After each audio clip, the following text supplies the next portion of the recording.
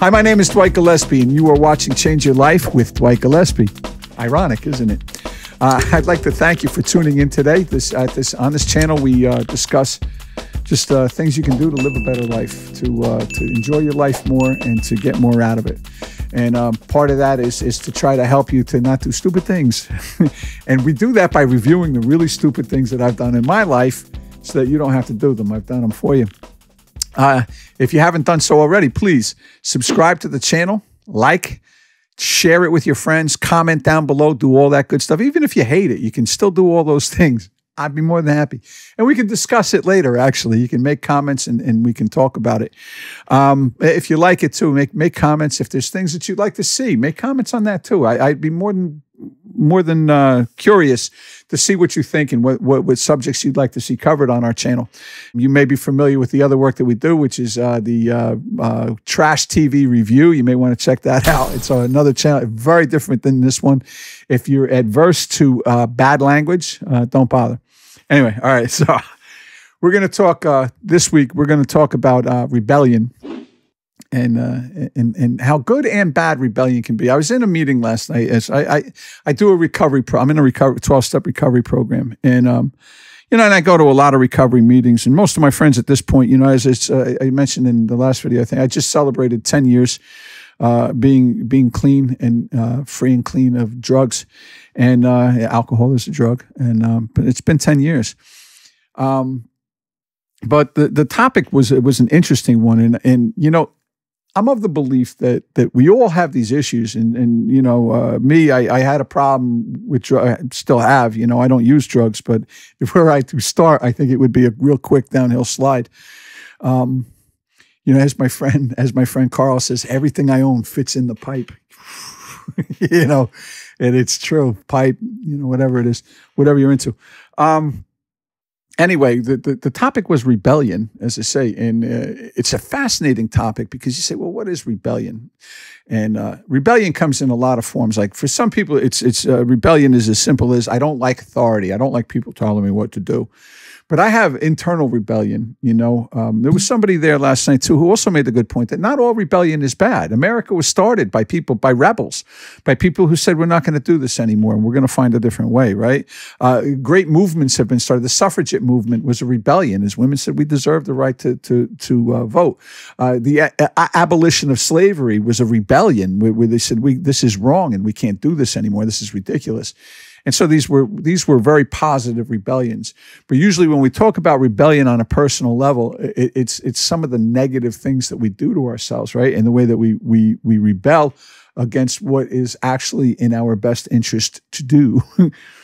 and uh, some of that rebellion, I, I remember once, uh, and I, I told the stories. Uh, I, I, was in the when I was in the military, I was in the Air Force, and I was stationed at Lowry Air Force Base, which is closed. Most of the bases I was closed at. Do you know that they closed the bases after I left?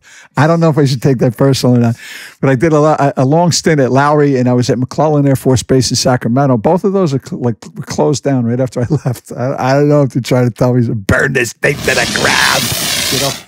Anyway, there was a tech sergeant. It was the weekend, and I was in tech school. It was a very long. I was there for almost a year. It was uh, um, satellite communications that I worked in in the Air Force, and uh, there was a tech sergeant. It was a Saturday morning, and I'm I'm ready to go. We're going out. We're going to go hang out. I was in Denver. It was beautiful, man. We used to go up to Loveland Pass. I camped, went camping a lot of weekends and stuff. So it was nice, and I, I really felt it was my time. Like, yeah, I signed a contract with the Air Force, but it's the Air Force. It's not like it's the real military, right? And I didn't like to shave on the weekends, but we were required to shave every day as, as, as young airmen, right? I had one stripe, I think, at the time. And uh, I had tech sergeant. That's five stripes. Five is more than one if you're doing the math. And he and he called me over. He saw me. He says, "Airman Gillespie, uh, front and center," you know. And I said, "Yes, uh, sir, uh, sergeant, tech sergeant." Anyway, he said, "You didn't shave." He said, and I said, but it's Saturday. Like, you know, like, what? he says, no, no, you're required. And he was one of those guys who was by the book. And I, I can see his face. I wish I could remember his name because he, he, wasn't wrong. I want to say it was Hartwell or Heart, Hardtack or something, something along the heart. It was Heart something. Anyway, anyway, neither here nor there. Um, but he said, go shave and then report back to me, right? Before I could go anywhere. We're, we're going out. So I go back in. We can beep that, right?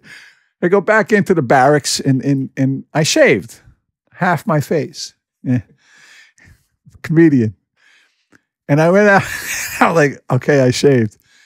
And he said, I don't think you're funny. And, and I am, though, in, in, in my own defense. I thought it was pretty funny. And my buddies, they all laughed. They were rolling. but he didn't think it was funny. And instead of going away, because uh, as I recall, it was a three day weekend as well. And what this tech sergeant had me do instead of going camping with my friends up in Loveland Pass was to pick up all the cigarette butts around Lowry Air Force Base. And uh, for 72 hours, that's what that's what I had to do. And it sucked, you know. But it was just that rebellious nature. Like, who are you to tell me what to do? Like, how how, how dare? Well, he, he was in perfect authority to tell me what to do. I just didn't feel that I should have to do it because that's my time, and he corrected me on that. But um, you know, and that's one instance of, of of this of this rebellious nature that I have, and rebellion comes subtly as well. And, and I remember I had my friend Anthony, right, and and uh, we are going over this because I, I, do this this work, this self help work, right, and and it, it was a workbook I was working out of, and they ask you a whole bunch of questions and stuff like that.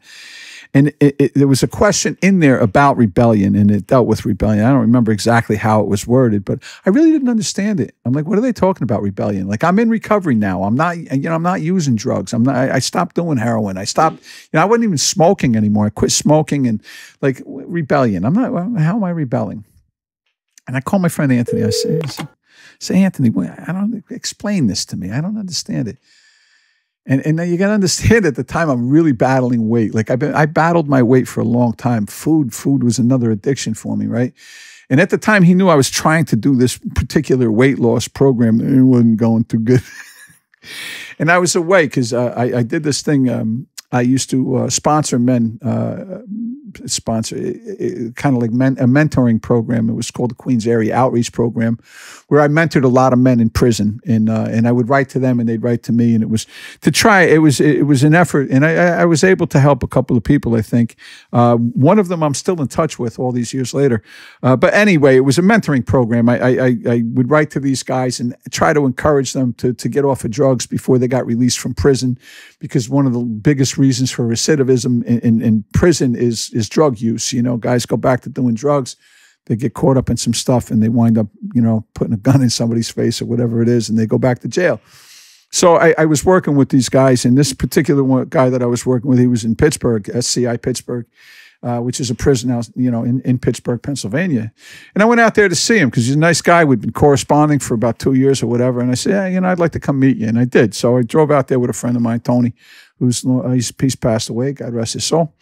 Um, but anyway, Tony and I are out there, and we're out in Pittsburgh. We're gonna because he had a guy he was writing to out there as well. And we go and uh, you know, so, so, we're on the road, and, and Anthony says, you know, when I'm asking him about this rebellion, he says, "Where are you right now?" I said, "I'm I'm outside in IHOP. I love IHOP, by the way, best pancakes in the world, like that." Heaven on earth. I love IHOP pancakes. Anthony says, uh, what are you doing in IHOP? I thought you were trying to, you know, this diet thing. Oh, no, Anthony. Ah, no, I'm going to go into IHOP and I'm going to order a fruit salad. And he said, that's rebellion. So what do you mean that's rebellion? I'm going to go in I'm going to eat a fruit salad. And he said, no, you're not. He said, you're telling yourself you're going to go in there and, and, and get a fruit salad. He said, you may even order a fruit salad. He said, but Dwight, you love IHOP pancakes why would you put yourself in a position where you're going to, at, at, the very minimum, have to sit there and smell everybody else's IHOP pancakes that you love so much? Oh, you're wrong. You're, you're wrong, Anthony. You're wrong. and I went in and I, I ordered a fruit cup. And before it, it even got to the table, I'm looking around. My favorite thing at IHOP, by the way, is the country fried uh, chicken with, with, with scrambled eggs and pancakes. And guess what? Guess what? Before the fruit cup came, guess what? I get. Guess what happened? Guess. Guess. I got. You got it. Excuse me, Miss. Could you come here a second? Yeah. Oh, I still want the fruit cup, sure, because I told Anthony I was going to order it. Could you also bring me that that that chicken fried, uh, uh, country fried chicken or whatever the. It, yeah, country fried. Well, no. Oh, yeah, it was steak. It was a chicken. Anyway country fried steak with the gravy. I said, uh, and bring a little extra of the gravy too, because I put it on. scrambled eggs, you know, and put the pancakes on the other because I, for some reason, I don't like to mix the syrup with the. and that's rebellion. And I do that in so many areas of my life. Here's here's another rebellion, right? I have, I have a nice apartment. You know, it's a decent. I like it. I'm comfortable. This is part of my apartment right here. This is my office area. Whoop, easy now. Let's not get let's not get crazy. Uh, this is my office, and um, my my my apartment reflects my mood a lot of times. When it's clean, things are usually going good. But I'm not a dirty guy because I hate bugs. I live in New York City, and you get roaches like like that. Uh, so you're not going to find like that kind of stuff around. But I'm messy. You know, I have a hat collection. Uh, uh you see on some videos I wear them.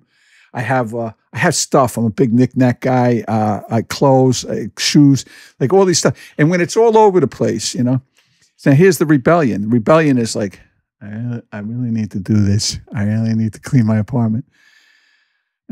I'm just going to play one game of this Who Wants to Be a Millionaire on my phone, right? You know, and, and, knowing like I got all these things to do, and I'll even make a list. I, I have them here. You see?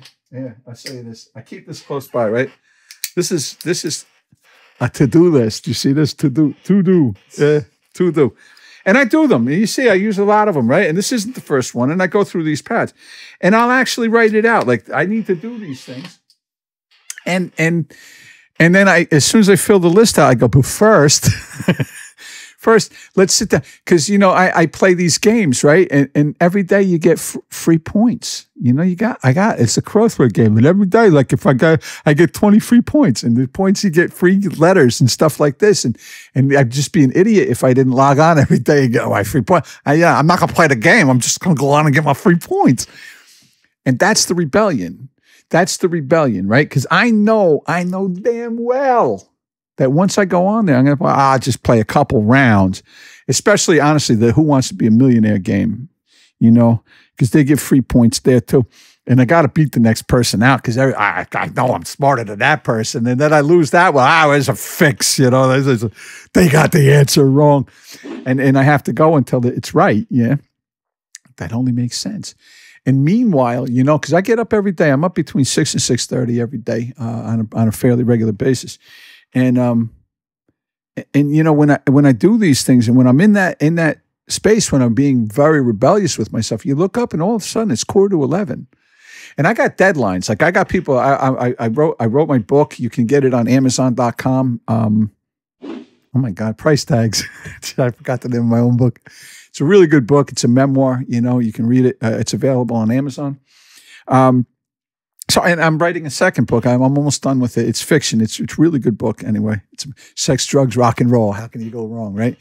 Uh, you know, and I'm finishing that, and I, I write for this, I write for the podcast, I write a blog, I, I do all of these things, and, and they got to get done. Like you got deadlines. You know, you tell people, oh, gonna, I'm going to post this every Tuesday, or you know, for this particular channel, we do uh, this one's done every Sunday. You know, uh, uh something has to go out, so you got a deadline. For my other channel, the the the uh, Trash TV review goes out every Thursday, right? Walter does it. I have to be on. I don't really do it. But I get it done though. I'm the one like I, am I'm, I'm here. I'm I'm the one on the camera, right? So I got to do this stuff, you know, and uh, and I said, there, and it's it's rebellion, and that goes into something we're going to talk about later, which is fear of success. And I know people say, "Well, hey, who, who's afraid of success?" Yes, you know. Anyway, we're going to get into that one later. But the, the rebellion is is really good because again, rebellion can come in such subtle forms, and that's a subtle form of rebellion.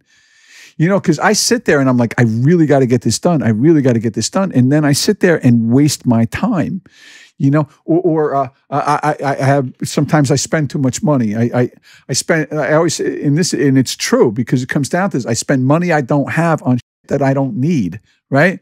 And I do that, and I'm it's Amazon. Oh God, uh, Prime. I, I don't, uh, but I'm not paying shipping. That means it's free. No, no, no. It doesn't mean it's free. It means you're not paying shipping. It means it charges you so much for that item that they don't have to charge you for shipping. That's what that means. And I can delude myself in thinking that I'm just going to go on and look at the box scores from the Met game last night, and that I'm not going to sneak over to Amazon or wasting time. No offense, because I, I, you know, listen, don't let me knock it.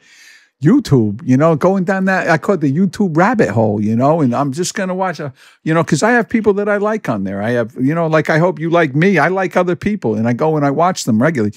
And some of them it's good because it helps me to, to make me better in, in my craft here and what I do. But a lot of it is just bone to, to, to rot my mind. And I go down that rabbit hole. You know, say we were talking before about watching this. One of my favorite types of videos to watch is Busted, you know, people who are cheating on their significant others and get caught. And I love the ones where the chick comes up and just dumps a whole soda over the head, you know, catches him, you know, who's? And the, both the girls are going, who's this? You know, like I love that. That's great. And uh, anyway, but these are these are the rebellions that I have in my life. Like I know, like I, I, make lists of things to do, and then I try to prioritize it. And then because that was so much work to sit there and make the list and prioritize it, that of course I deserve a break. like who wouldn't? You know, like you know, and, and so much more could get done if I would just do it. And, and, and it does bring up different reasons of why is this rebelliousness happening?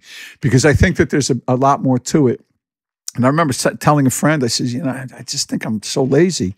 And she said, you're not lazy. I mean, you do these things. You do your podcast. You wrote, you wrote a book. You wrote, like you do these things. It's just, there's something else going on there. There's something else behind these rebellions, you know, uh, the, the, the, whether it's a fear of success. And I'm a big believer in that. And we're going to get into that on the next video. I don't want to, I don't want to cross too many lines with that, right? Because that's another great podcast in itself. Because it's not, it's a fear of success. It's a fear of failure. It all combines and uh, and we'll get into that later, right? I'm not gonna. I don't want to, because then I'll go off on another tangent, as maybe you know that I want to do from time to time. But we're gonna end it on that note. And again, by all means, please comment on this, right? Let me know what you think. If you disagree, especially, I love to, to get into to good conversations about, you know, different ways of doing things, different ways of looking at things. That's how I learn. I learn from you. Because the opposite of rebellion, as somebody said, somebody said it uh, last night, I heard it, and I, I, I said it, it, it, it's genius. See, because people say, I'm a rebel, you know, I don't, eh, people think the opposite of rebellion is conformity, and it's not. The opposite of rebellion is open mindedness right? It's becoming open to new things. It's not necessarily conforming, but being open to a different way of looking things. You see, and when I start to take that into mind, and I'll, I'll, I'll end on this, right? Because I almost forgot. I had it in my notes. I wrote the notes. Is that idea of, of conformity, I think, is one of the things that bothers me. I don't want to be a conformist. I don't want to be like everybody else, right? But sometimes you have to be, you know? Um, but it's not conformity. It's open mindedness. It's opening myself to a different way of living. It's opening myself to a different way of thinking. And we say, you know, you, you, you don't act yourself in, into, or you don't think yourself into a new way of acting. You act yourself into a new way of thinking. And that can only happen with open mindedness and understanding that this is really good for me and that I need to begin. And it's always a beginning. In, in one of the one of the last podcasts we did, uh, we talked about the 5149 principle, right? And, and part of rebelliousness is getting over that hump and making sure that at least 51% of yourself wants to do something.